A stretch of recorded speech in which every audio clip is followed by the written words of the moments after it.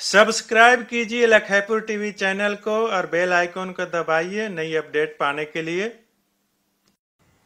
Hello दोस्तों, welcome. आप देख रहे हैं लखैपुर टीवी, मैं लखैपुरी।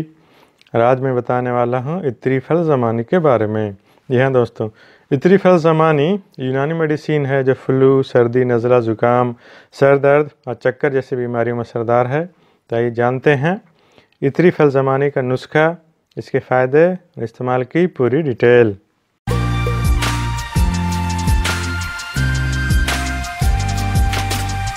इत्री फल ज़मानी का नुस्खा या कंपोजिशन इसके नुस्खे की बात करें तो इसे आंवला खुश्क बंसलोचन बुरादा संदल सफ़ेद, पोस्त बहेड़ा, पोस्त हलेला जर्द, सकमोनिया, सना, गुल सुर्ख, हलेला स्याह, कतीरा, गुल बनफशा, गुल नीलोफर, सपिस्तान, उनाब बर्ग बनफशा, रोगन अरंडी, कंद सफ़ेद और सत लेमू मिलाकर बनाया जाता है।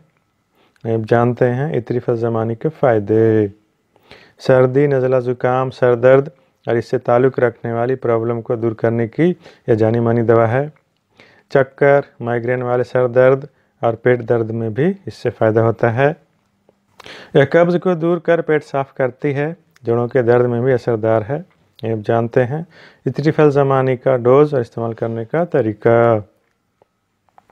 पाँच से दस ग्राम तक सोने से पहले दूध या पानी से लेना चाहिए। इसे सुबह शाम भी लिया जा सकता है। हमदर्द के 125 ग्राम के पैक की कीमत छियासठ रुपये करीब है। इसे यूनानी दवा दुकान से या फिर ऑनलाइन भी खरीद सकते हैं।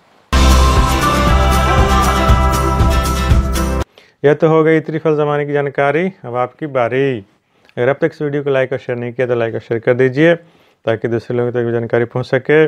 नए वीडियो के लिए हमारे चैनल को सब्सक्राइब कीजिए। आज की दी गई जानकारी को पढ़ना चाहते हैं तो वीडियो के डिस्क्रिप्शन में इसका लिंक दिया गया है।